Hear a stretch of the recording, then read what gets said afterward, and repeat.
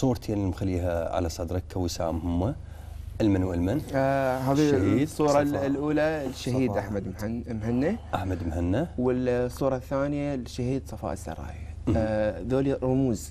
مم. أيقونات التحرير يعني. آه من شخص واجه القوى الظلامية. أي يعني شوفوا. آه الاثنين بالضبط آه.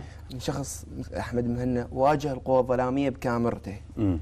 وواجه داعش آه، انتمى لل- للفئة اللي انتمى اليها الشعب العراقي كلها اللي هي الفصيل الحشد الشعبي.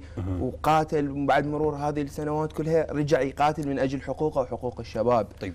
ولا أنسى إنه صفاء صفاء يعني اللي صار رمز على مستوى يعني حتى برا العراق العراقيين اللي برا العراق. هذا بالنهاية توفيق إلهي يعني. الحمد لله. يعني خلينا نقول رحم الله شهداء آه، شهدائنا وشافي آه، جرحانا آه، ارجع أستاذ زياد